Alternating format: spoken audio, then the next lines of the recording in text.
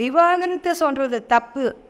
முத்தலாக் சொன்னால் செல்லாதுன்னு நீதிமன்றம் சொன்னால் பிஜேபி கொண்டு வந்த சட்டம் என்ன சொல்லுதுன்னா அந்த விவாகரத்து சொன்ன கணவனை பிடிச்சி ஜெயிலில் போட்டு வைப்பேன். அப்புறம் இந்த மனைவி யாரோட வாழ்றது இது ஒன்று தானே பிரச்சனை? இப்போ யோசிச்சு பாருங்க குழந்தை திருமணத்தை தடுக்க முடியும் ஜீவனாம்சம் வாங்க முடியும் முத்தலாக்கு கிடையாது. இந்த பலதாரமணத்தை தடுக்கிறதுக்கு கிரிமினல் ஆக்டில் இருக்கக்கூடிய விதிவிலக்கை எடுத்தால் போதும். இதுக்கு எதுக்கு ஒரு சிவில் கோடு எல்லா மக்களுக்கும் பொதுவாக ஒரு சட்டத்தை கொண்டு வரணும் அப்படிங்கிறது கிடையாது. இஸ்லாமியர்கள் மீது வெறுப்பை வளர்க்குறதுக்கு இந்த மாதிரி எதையாவது ஒன்று தூக்கி போட்டுட்டு இருக்கிறது பாருங்க அவங்க ஒத்துக்க மாட்டேங்கிறாங்க அவங்க ஒத்துக்க மாட்டேங்கிறாங்க அப்படின்னு ஒரு பிரச்சாரம் பண்ணுறது நீங்கள் ஒரு ஏதோ ஒரு சமூகத்தை குறிப்பிட்டு குறிவைத்து இப்படி வந்து குடைச்சலாக அதை பேசிக்கிட்டே இருந்தால் அவங்களுக்கு ஒரு பாதுகாப்பற்ற தன்மையும் பயமும் உண்டாகும். வணக்கம். இன்றைக்கு நம்ம கூட இணைஞ்சிருக்காங்க வழக்கறிஞர் ஆ. அனிமொழி அவர்கள். அவங்க வந்து ஆஹ், திராவிடர் கழகத்தின் பிரச்சார செயலாளராக இருக்காங்க பல்வேறு பொது மேடைகளில் தன்னுடைய கருத்தை நல்லா ஆணித்தரமாக பகிர்ந்திருக்காங்க வணக்கம் புதிய தகவல்களுக்கு இன்மதியுடன் இணைந்திருங்கள். இன்றைக்கு ஒரு பேச்சு பொருளாக ஆகினது அப்படின்னு சொல்கிறதுனா இந்த பொது சிவில் சட்டம் யூனிஃபார்ம் சிவில் கோட் அப்படின்னு பேசப்படுது. அது இந்த முறை பார்லிமெண்ட்டில் வருமா இல்லை அவங்க முயற்சி செய்வாங்களான்னு தெரியல. ஆனால் அதுக்கு முத்தைபா மோதி அவர்கள் இது மாதிரி சொல்லியிருக்கார். அவங்க பிஜேபி வந்து ஒரு மூணு நாலு விஷயங்களை எப்போதும் பேசுவாங்க. ஆர்டிகிள் த்ரீ செவன்ட்டி காஷ்மீருக்கு ஸ்பெஷல் ஸ்டேட்டஸ் கொடுக்கக்கூடாது ராமர் கோயில் கட்டுவோம்.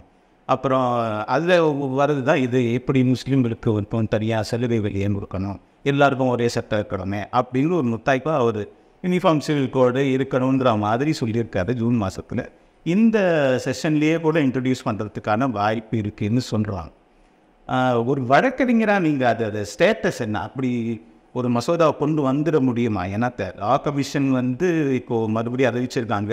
ஜூலை பதினைந்துக்குள்ளே அவங்களுடைய இது சொல்லுங்க. நான் இப்போ பத்திரிகை செய்தியில் வந்தது. நாற்பத்தாறு லட்சம் ரெஸ்பான்சஸ் வந்ததுன்னு சொல்கிறாங்க இந்த செஷன்லேயே அதுக்கான வாய்ப்பு இருக்கா? சட்டம் கொண்டு வரதுக்கான வாய்ப்பு இருக்கா மசோதா அதாவது இந்த உடனடி கேள்வி அப்படின்னு பார்த்தீங்கன்னா இந்த நாடாளுமன்ற கூட்டத்தொடரில் இந்த சட்டம் வர்றதுக்கு வாய்ப்பு இருக்குதா அப்படின்னா கண்டிப்பாக வாய்ப்பு இருக்குது. ஏன்னா பிஜேபி கட்சியை பொறுத்த வரைக்கும் மக்களுடைய கருத்துக்கோ மற்ற எதிர்க்கட்சிகளுடைய குரலுக்கோ எந்த மதிப்பும் இதுவரைக்கும் கொடுத்ததில்லை. அதனால் இந்த எதிர்ப்பு மக்களுடைய அச்சம் பதட்டம் பல்வேறு சந்தேகங்கள் இதெல்லாம் வந்து முதல்ல பொறுமையாக பேசணும் அப்படிங்கிறது பிஜேபி கட்சியினுடைய அக்கறை பட்டியலில் வந்ததே கிடையாது. அவங்க பட்டியல் வந்து வேறு. அதாவது நேரு அப்படின்னு முதல் பிரதமரை பற்றி பேசினா அவர் இந்த ஐஐடியை கொண்டு வந்தார். இந்த பெரிய தொழிற்சாலையை கொண்டு வந்தார் அப்படின்னு சொல்லி பார்ப்போம். இப்போ பிரதமரையும் பிஜேபியை பற்றி பேசினா இவங்க இதெல்லாம் விற்றாங்க அப்படின்னு தான் பட்டியல் இருக்கும். ஆனால் இவங்களுக்கு வந்து கட்டுவதை விட இடிக்கிறதுக்கு பட்டியல் பெருசாக இருக்குது இது மட்டும் இல்லை இப்போ அவங்க சொல்கிறது one two three top three தான் வந்து த்ரீ செவன்ட்டி காஷ்மீரினுடைய தனி அந்தஸ்தை எடுக்கிறது. ராமர் கோயில் கட்டுறது பொது சிவில் சட்டம் கொண்டு வரணுங்கிறது ஒன் டூ த்ரீ அடுத்தது இன்னும் இருக்கே தாஜ்மஹாலை இடிக்கிற வேலை இருக்குது காசி விஸ்வநாதர் பக்க அந்த கோயில் பக்கத்தில் இருக்கிற மசூதியை இடிக்கிற வேலை இருக்குது இப்படியாக பல வேலைகள் ஆக்கப்பூர்வமான வேலைகள் அவங்களுக்கு வந்து நிறைய பட்டியலில் வச்சுருக்குறாங்க. ஆகையினால மக்களுடைய விருப்பம் என்ன அல்லது தேவை என்ன அப்படிங்கிறத பற்றி கவலை இல்லாமல் நாங்கள் நினைத்ததை செய்வதற்கு எங்களுக்கு வந்து ஆட்சி இருக்குது அதிகாரம் இருக்குது அதை செய்து காட்டுவோங்கிறது தான் அவங்களுடைய நடவடிக்கை. உலகம் முழுக்க ஆதிக்கவாதிகள் ஃபேசிஸ்டுகள் இப்படி தான் நடந்துக்கிட்டு இருக்காங்க. ஆகையினாலும் அந்த நாடாளுமன்றத்தில் கொண்டு வர்றதுக்கு வாய்ப்பு இருக்கு. ஆனால் பொதுவாக ஒரு அவங்க சொல்கிற ஆர்கியூமெண்ட் என்னென்னா நேருவே கூட நான் யூனிஃபார்ம் சிவில் கோடு கொண்டு வரணும். அது வந்து அரசியல் சட்டத்தில் டைரக்டிவ் பிரின்சிபல்ஸ் இருக்குது நம்ம இந்திய நாட்டில் இதை கொண்டு வரணும். எல்லாருக்கும் பொதுவான ஒரு சட்டம் வேணும். அப்போ எல்லாரும் எல்லா இந்தியர்களும் ஒன்று தானே எல்லா மதத்தினர்களும் ஒன்று தானே ஏன் வந்து தனித்தனி கம்யூனிட்டி ரிலீஜியஸ் கம்யூனிட்டி அவங்க இந்துக்களுக்கு முஸ்லீம் முஸ்லீம்களுக்கு தண்ணி கிறிஸ்தவர்களுக்கு தண்ணி ஒவ்வொரு பாப்புலேஷன் குரூப்பும் தனியில் ஏன் சட்டம்? எல்லாரும் இந்திய குடிமகன் தானே அப்படிங்கிற ஒரு வாதத்தை அடிப்படையில் வைக்கிறாங்க. அதற்கு நீங்கள் என்ன சொல்றீங்க? அதாவது இந்த கேள்வி வந்து கேட்குறதுக்கு ஒரு நியாயம் போல தோன்றும். கிட்டத்தட்ட இந்த கேள்வி என்கிட்ட கேட்டால் எனக்கு சில வரலாற்று புரிதல் இல்லாமல் இருந்தால் எனக்கு கூட அது என்ன அப்படின்னு தான் தோணும். இது வாட்ஸ்அப்பில் வந்துச்சுன்னா உங்களுக்கு அப்படி தான் தோணும் ஆனால் இதுக்கு ஒரு வரலாறு இருக்குல்ல. இப்போது நேரு சொன்னார். ஏன் செய்யலை? டாக்டர் அம்பேத்கர் சொன்னார் அரசியல் சாசனத்தில் இந்த சிவில் சட்டம் கொண்டு வர வேணும் அப்படின்னு ஆலோசனை வழிகாட்டு நெறிமுறையில் வச்சுருக்காங்களே தவிர இதை வந்து ஏன் அவங்க ஃபண்டமெண்டல் ரைட்ஸில் அடிப்படையாக சீரடைங்க அப்படிங்கிறத ஏன் வைக்கிறது the state shall endeavour to bring a uniforms civil code அப்படின்னா அரசு முயற்சி செய்யணும். அவ்வளோதான் அப்போ இதுக்கு முன்னாடி இருந்த அரசுகள் எல்லாம் ஏன் அதை செய்யலை அப்படின்னா முதலாவது அந்த வழிகாட்டு நெறிமுறைகள் Khan directive principles part four of the கான்ஸ்டியூஷனில் சொல்லப்பட்டது நிறைய. அதில் வந்து முதல்ல இந்த நாட்டு மக்களுக்கு வந்து அடிப்படை கல்வியை வந்து அடுத்த ஐந்தாண்டுக்குள்ளே பதினாலு வயசுக்குள்ளே இருக்கவங்களுக்கெல்லாம் அடிப்படை கல்வியை கொடுக்கணும். அவங்க வேலை செய்கிற இடங்களில் பாதுகாப்பு கொடுக்கணும். ஆண்களுக்கும் பெண்களுக்கும் சமமான வேலை வாய்ப்பு சம்பளம் ஈக்குவலாக இருக்கணும். இது எல்லாத்தையும் விட மனிதர்கள் வேலை செய்கிற இடங்களில் அவங்க மனித மாண்புகளுக்கு கீழே இறங்காத அளவுக்கு வசதிகளை செய்து கொடுக்கணும். இது எல்லாம் இருக்குது ஆனால் இந்த ஸ்டேட் வந்து இது எல்லாத்தையும் செஞ்ச பிறகு யூனிஃபார்ம் சிவில் கோடுக்கும் முயற்சி பண்ணுறோன்னு சொன்னால் ஒரு அர்த்தம் இருக்குது ரெண்டாவது டாக்டர் அம்பேத்கர் என்ன சொன்னாருன்னா அவருடைய அடிப்படை கருத்துக்கள் சித்தாந்தத்தை கொண்டது ஒரு நூல் இருக்குது அதுக்கு பேர் வந்து அனிகிலேஷன் ஆஃப் கேஸ்ட் சாதிகளை அழித்து ஒழித்தல். அது முடியாததுனால தான் அவர் வந்து நான் இந்துவாக பிறந்து விட்டேன் அது என் கையில் இல்லை. ஆனால் நான் இந்துவாக சாப மாட்டேன். ஏன்னா நான் இந்துவாக செத்தால் ஜாதி இழிவோடு தான் சாகிறேன் அப்படின்னு சொன்னார். அப்போ அதை நீக்கணும்னா என்ன செய்யணும்? அவருடைய அனிகிலேஷன் ஆஃப் கேஸ்டர் ஜாதியை அழித்தொழித்தல் எப்படிங்கிறத நடைமுறைப்படுத்தணும். அம்பேத்கருடைய கருத்தை அதை அரசு நடைமுறைப்படுத்தினாக்க மற்றதெல்லாம் பேசலாம். இது முதல் பகுதி உங்கள் கேள்வியில். ரெண்டாவது இந்த ஏன் எல்லாருக்கும் ஒரே சட்டம் இருக்கக்கூடாது? சிவில் சட்டம். கிரிமினல் சட்டம் ஒன்றா தானே இருக்குது அப்படி எதுக்கு ஒவ்வொருத்தருக்கும் ஒரு சட்டம் வேணும் அப்படின்னு ஒரு கேள்வி வருது. அது கரெக்டு தான். இப்போ நாட்டில் வந்து எல்லாருக்கும் ஒரே சிவில் சட்டம் தான் இருக்குது civil procedure code criminal procedure code Indian penal code இது மூணுமே ஒன்று தான் எல்லாருக்கும் ஒன்று தான் யாருக்கும் ஜாதி மத அது தகுதி அந்தஸ்து அடிப்படையில் பிரிவு கிடையாது. அந்த சிவில் சட்டத்தின் படி தான் நம்ம வந்து இந்த பக்கம் போகக்கூடாதுன்னா போகக்கூடாது. கடன் வாங்கினா திருப்பி கொடுக்கணும். பாதம் பாத பிரிவினைகள் நடந்தால் அதை சரியாக வரையறுக்கணும். வழக்குகள் சொத்து வழக்கு நடக்குது. இதெல்லாம் அந்த சிவில் கேஸில் தான் நடக்குது. இதுக்கு பேர் தான் சிவில். சிவில் சர்வெண்ட்டுன்னு யாரை சொல்கிறோம் அரசு ஊழியர்களை சொல்கிறோம் அப்போ ஆயுதம் வச்சுருக்கவங்க வந்து கிரிமினல் சர்வெண்ட்டாக இல்லை அவங்க யூனிஃபார்ம்டு சர்வீசஸ் அந்த யூனிஃபார்ம்டு சர்வீசஸ் யூனிஃபார்ம்டு சர்வீஸ் அப்படிங்கும் போதே அது வந்து கிட்டத்தட்ட மிலிட்டரி போலீஸ் இப்படியான தன்மை உடையது. சிவில் லைஃப் அப்படிங்கிறது பலதரப்பட்டது வெவ்வேறு வகையானது. ஒரு கவர்மெண்ட் ஆஃபீஸ்க்கு வரவங்கெல்லாம் வெள்ளை சட்டை தான் போட்டுக்கிட்டு வரணும். இல்லை காவி சட்டை தான் போட்டுக்கிட்டு வரணும். அப்படின்னு சொல்ல முடியாது. சொன்னால் அந்த இடத்துல சிவில் சட்டத்துக்கு பதிலாக இராணுவ சட்டம் இருக்குன்னு அப்போது நம்ம எல்லாருக்கும் சிவில் கோடு ஒன்றா தான் இருக்குது அடுத்து இது இவங்க மறைமுகமாக சொல்ல வர்ற பிரச்சனையை நம்ம வெளிப்படையாக பேசுவோம். இந்த காமன் சிவில் கோடுன்னு பேசினவங்களுடைய ஒரே அட்டாக் வந்து முஸ்லீம்ஸு பலதார கல்யாணம் பண்ணலாம். இதெல்லாம் வந்து எங்களுக்கு தடை செய்யப்பட்டது. அப்போ ஏன் அவங்களுக்கு அனுமதி கொடுக்கப்பட்டிருக்கு? இதுதான் முக்கியமான கேள்வி. இது சிம்பிள் ரெண்டாவது இதை ரொம்ப எளிதாக தீர்க்கவும் முடியும். இந்த கேள்வியில் நியாயம் இல்லை. நான் வந்து இந்த கேள்வி தப்புன்னே சொல்ல மாட்டேன். ஆனால் அதுக்கு பதில் என்னென்னா முதல்ல ஜீவனாம்ஸ் இஸ்லாமிய சட்டப்படி அவங்க சரியத்தினால அப்போவே ஒரு கணவன் மனைவியை விவாகரத்து பண்ணால் கண்டிப்பாக அவங்களுக்கு நாலு மாதம் ஜீவனாம்சம் கொடுக்கலாம். ஏன் நாலு மாதம்னா அவங்க கர்ப்பமாக இருக்காங்களான்னு பார்த்துருக்கு அப்படி கருவுற்று இருந்தால் அந்த குழந்தை பெறுவதற்கும் பெற்று அந்த குழந்தையை குறிப்பிட்ட வயசு வரைக்கும் வளர்க்குறதுக்கும் கண்டிப்பாக ஒரு பணம் கொடுத்து தான் ஆகணும். இப்போ இந்துலாவில் அடிப்படையில் இந்துலாங்கிறது என்ன? சாஸ்திரங்கள் அடிப்படையில் வர்றதா? ஸ்மிருதிகள் அடிப்படையில் வர்றது. அதில் பெண்ணுக்கு ஜீவனாம்சம்னே இல்லை. மனுஸ்மிருதியிலேயே என்ன சொல்லியிருக்குன்னா ஆண் குழந்தை பெறாத மனைவியை கணவன் தள்ளி வச்சிருந்தா அவளுக்கு ஜீவனாம்சமும் கொடுக்க வேண்டான்ற பெண் குழந்தையை பெறுகிறவள் குழந்தை பெறாதவள் இப்படிப்பட்ட மனைவியை கணவன் ஒதுக்கி வைக்கலாம் அப்படின்னு இருக்குது சரி ஒதுக்கி வச்ச பிறகு அந்த பொண்ணு வேற கல்யாணம் பண்ண முடியுமா? அதுக்கு இடம் இல்லை. கணவன் இறந்துட்டார். இஸ்லாமிய சட்டப்படி பெண்ணுக்கு வந்து சொத்துரிமை. ஆனால் இந்த சட்டப்படி என்ன இருந்துச்சு? சாஸ்திரப்படி அவங்கள வந்து உடன்கட்டை ஏற்றுச்சு இஸ்லாத்தில் வந்து மறுமணவர் அப்போ அதுக்கேற்ற மாதிரி தான் அந்த நிதிகள் வழங்கப்பட்டது. சரி ஆனால் ஐம்பத்தஞ்சு வயசில் ஒரு அம்மாவை ஒருத்தர் விவாகரத்து பண்ணுறாரு அப்போ அவங்க என்ன பண்ண முடியும்? அப்போ அவங்களுக்கு ஜீவனாம்சம் வேணுமா வேணாமா? இதுதான் ஷாபானு கேஸ் அப்போ அதில் உச்சநீதிமன்றம் வழங்கின தீர்ப்பு இருக்கு இல்லையா? அது இன்னைக்கு வரைக்கும் செயல்படுத்தப்படி. இப்போ ஒரு இஸ்லாமிய பெண் வந்து ஜீவனாம்ச வழக்கு தொடரும் போது ஷரியத் சட்டப்படி தான் கேட்கணுமா?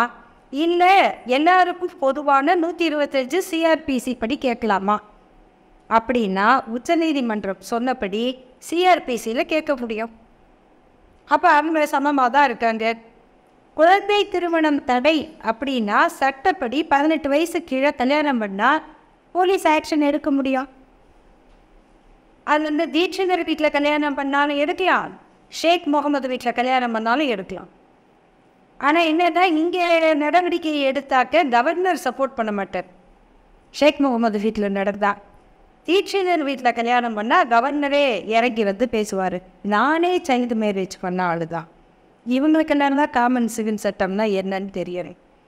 அப்போது குழந்தை திருமண தடை சட்டம் குழந்தைகள் பாதுகாப்பு சட்டத்தின்படி எல்லா மதத்திலும் இதை நீங்கள் சொல்ல முடியும். முத்தலாக் இது முக்கியமான பிரச்சனை. முத்தலாக் வந்து தப்புன்னு சொல்லி உச்சநீதிமன்றம் சொல்லிருச்சு. அதுக்கு இவங்க ஒரு சட்டம் கொண்டு வந்தாங்க. அது அதை விட பயங்கர சட்டம். விவாகரத்து சொல்கிறது தப்பு. முத்தலாக் சொன்னால் செல்லாதுன்னு நீதிமன்றம் சொன்னால் பிஜேபி கொண்டு வந்த சட்டம் என்ன சொல்லுதுன்னா அந்த விவாகரத்து சொன்ன கணங்களை பிடிச்சி ஜெயிலில் போட்டு வைப்பேன். அப்புறம் இந்த மனைவி யாரோட வாழ்றது அவங்களே விவாகரத்து தப்புன்னு எதுக்கு கேட்குறாங்க அவரோட வாழணும்னு தான் கேட்குறாங்க அப்புறம் அவங்க யார்கிட்ட போய் ஜீவனாம்சம் கேட்பாங்க? அப்போ இவங்களுடைய அக்கறை வந்து அந்த இஸ்லாமிய பெண் மீது அல்ல. நான் இஸ்லாமியரை தூக்கி ஜெயிலில் போடுறதுக்கு என்ன வாய்ப்பு கிடைக்குதோ அதை பயன்படுத்துவாங்க.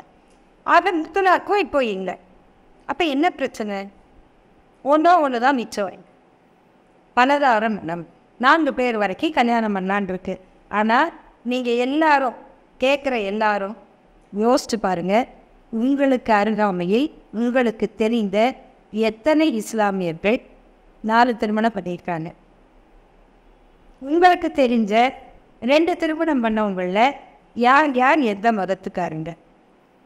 இந்த சட்டத்தினால இப்படி நடக்குதா? அப்படியே நடக்குதுன்னு வச்சுக்குவேன் சரி அப்படியே நடந்ததுங்க. ஆனால் ஒருத்தர் இந்துவாக இருந்தால் அவர் மேலே நீங்கள் கேஸ் போட முடியும். ஆனால் இஸ்லாமியர் அதை பண்ணால் சட்டப்படி அதில் நீங்கள் கிரிமினல் கேஸில் தட்டிக்க முடியாது. அது ஒரு வெ- பிளவு இருக்கு இல்லையா? அதுக்கு தீர்வு என்னென்னா ஐபிசியினுடைய பிரிவு நானூற்றி தொண்ணூற்றி நாலு. Section four eighty four IPC. அதுதான் வந்து பலதர நட செய்கிறவங்களை தண்டிக்கிற சட்டம். அந்த சட்டத்தில் என்ன இருக்குன்னா ஒரு கணவன் மனைவி உயிருடன் இருக்கும் போதோ மனைவிக்கு அது பொருந்தும். அந்த ஸ்பௌஸ் தன்னுடைய இணையர் உயிருடன் நிற்கும்போது அவங்கள சட்டப்படி விவாகரத்து பெறாமல் இன்னொரு திருமணம் செய்தால் அது குற்றம். Punishable offence. இது இதுக்கு கீழே ஒரு எக்ஸ்பிளனேஷன் இருக்கு. ப்ரொவிசன் அந்த எக்ஸ்பிர அந்த விளக்கம் என்ன சொல்லுதுன்னா ஆனால் இந்த திருமணத்தை ரெண்டாவது மூணாவது திருமணத்தை செய்தவர்கள் அவர்களுடைய மதச்சட்டத்தின்படி அதற்கு அனுமதிக்கப்பட்டவர்களாக இருந்தால் அது குற்றமாகாது அப்படின்னு சொல்கிறாங்க அந்த விதிவிலக்கு தான் இப்போ இஸ்லாமியர்கள் பலதார திருமணம் செய்தால் அதை கிரிமினல் குற்றமாக பார்க்க முடியாமல் தடுக்குது.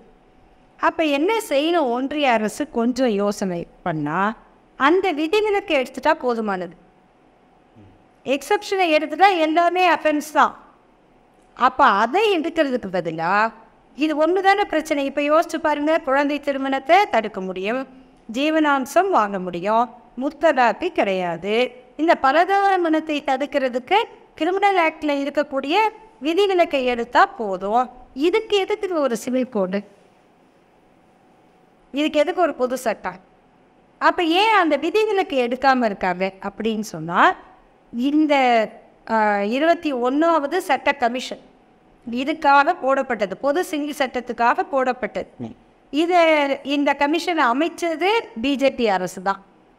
அவங்க கொடுத்த அறிக்கையின்படி இந்த புள்ளி விவரத்தை எடுத்தால் மிக அதிகமாக பலதாரமணம் செய்கிறவங்க ட்ரைப்ஸ் பழங்குடி மக்கள் அப்புறம் ஜெயினர்கள் அப்புறம் பார்சிகள் அப்புறம் இந்துக்கள் அப்புறம் தான் முஸ்லீம்கள் வராங்க.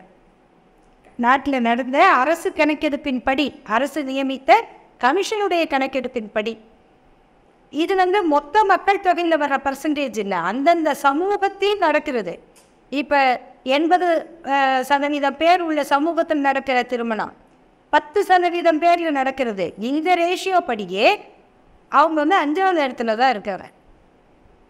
அப்படி இருக்கும்போது அதையும் நீங்கள் அதுதான் பிரச்சனை. அது தடுக்கணும். ஏன்னா அவங்க மேலே கேஸ் போட முடியாதுன்னா தாராளமாக அந்த விதிவிலக்கு எடுத்துட்டா போதும். ஆனால் அந்த விதிவிலக்கை எடுத்தால் வடகிழக்கு மாநிலங்களில் இருக்கக்கூடிய பழங்குடி மக்கள் எதிர்ப்பே உங்களுக்கு வரும். அப்போ அவங்க எதிர்ப்புக்கு யோசிக்கிறாங்க. இவங்களை போட்டு அடிக்கணும்னு நினைக்கிறாங்க. இதுதான் இதுக்கு பின்னணியில் இருக்க வரலாறு.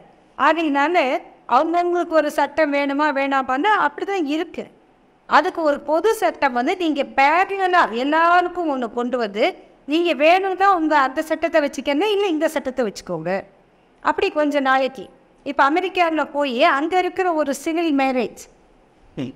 பண்ணி அங்கே பதிவு பண்ணலாம். இல்லை நம்ம இங்கேயே கெட்டு மேரேஜ் பண்ணிவிட்டு அந்த சர்டிஃபிகேட் எடுத்துகிட்டு போய் இப்போ வாழ்கிறோம் அங்கே இருக்கவங்க அந்த மேரேஜ் இப்போ சர்ச்லேயும் பண்ணுறாரு அப்போ சர்ச் மேரேஜ் சிவில் மேரேஜ் இருக்க மாதிரி நீங்கள் எதை தேர்ந்தெடுக்கணுமோ அப்போ ஸ்பெஷல் மேரேஜ் ஆக்ட் ஏற்கனவே இருக்குது அப்படி ஒரு காமன் சக்சஷன் ஆக்ட்டு முடிஞ்சு போச்சு. எது வேணுமோ கொஞ்ச நாளைக்கு அதை பழக்கப்படுத்தணும். அப்புறம் தானே இது வரதுடியும் அதனால் இவங்க நோக்கம் வந்து எல்லா மக்களுக்கும் பொதுவாக ஒரு சட்டத்தை கொண்டு வரணும் அப்படிங்கிறது கிடையாது. இஸ்லாமியர்கள் மீது வெறுப்பை வளர்க்குறதுக்கு இந்த மாதிரி எதையாவது ஒன்று தூக்கி போட்டுட்ருக்கிறது பாருங்க அவங்க ஒத்துக்க மாட்டேங்கிறாங்க அவங்க ஒத்துக்க மாட்டேங்கிறாங்க அப்படின்னு ஒரு பிரச்சாரம் பண்ணுறது நீங்கள் ஒரு ஏதோ ஒரு சமூகத்தை குறிப்பிட்டு குறிவைத்து இப்படி வந்து குடைச்சினா அதை பேசிக்கிட்டே இருந்தால் அவங்களுக்கு ஒரு பாதுகாப்பற்ற தன்மையும் பயமும் உண்டாகும். இப்போது சீக்கியர்கள் எதிர்க்கிறாங்க. நாங்கள் அவங்கள இதில் சேர்க்கலை. பழங்குடி மக்கள் எதிர்க்கிறாங்க. அவங்கள சேர்க்கலை. அப்பயே எல்லாரையும் விட்டுற வேண்டியதானே அவங்கவுங்க விருப்பத்துக்கு? அவங்களுக்கு எக்ஸப்ஷன் இவங்களுக்கு எக்ஸப்ஷன் தான். அது எப்படி uniform or common civil code ஆகும்? அப்போ இவங்க ஒருத்தருக்கு இருக்கிற எக்ஸப்ஷன் மட்டும்தான் வந்து எங்களுக்கு பிரச்சனை. அப்படிங்கிறது இந்த ஆட்சியாளர்கள் பிஜேபி அவங்க மூலவர்களான ஆர்எஸ்எஸோட அடிப்படை வெறுப்பில் விளைந்தது. அதுதான் இந்த எதிர்ப்புக்கு பிஜேபியை பொறுத்த வரைக்கும் அவங்களுக்கு சட்டத்தின் மீது மரியாதை கிடையாது. இப்போது இல்லைன்னா யாராவது தாங்களே ஒரு கமிஷன் அப்பாயின்ட் பண்ணுறாங்க அந்த கமிஷன் ஒரு அறிக்கையை கொடுக்குது. இந்த அறிக்கையை வாங்கி வச்சுக்கிட்டு இது எனக்கு உடன்பாடாக இல்லைங்கிறதுக்காக இன்னொரு சட்ட கமிஷனை போட்டு இதுக்கு நாற்பத்தாறு லட்சம்னா அப்போ என்னது? நாற்பத்தாறு லட்சம் பேர்கிட்ட கருத்து கேட்குறதுக்கு ஏற்பாடு பண்ணிக்கிட்டு நாங்கள் இன்னொரு சட்ட கமிஷனை போடுறோம். அப்படின்னு சொல்கிறதே இவங்க வந்து திட்டமிட்டு சட்டத்தை நீர்த்து நீர்த்துக்கோக செய்கிறது சட்டத்துக்கு புறம்பாக செயல்படுவது ஒரு அரசாங்கம் சட்டவிரோதமாக நடந்துக்கிறதுங்கிறதே பிஜேபி அரசு செய்கிறது தான் சீர்திருத்தம் சட்டத்தில் வந்தால் போதாது சீர்திருத்தம் நம்ம சிந்தனைங்க வரணும். சமூகத்தில் வரணும் முதல்ல ஆணும் பெண்ணும் சமம் தான் அப்படிங்கிற கான்செப்டை நம்ம வந்து தத்துவமாக ஒத்துக்கலாம். ஆனால் எந்த மதமாவது அதை ஒத்துக்குதா? இருந்தால் ஒன்று நாங்கள் வந்து நதிக்கு உங்கள் பேரை வச்சோம் மறைக்கு உங்கள் பேரை வச்சோம் வீட்டுக்குள்ளே போட்டு மிதிப்போம்.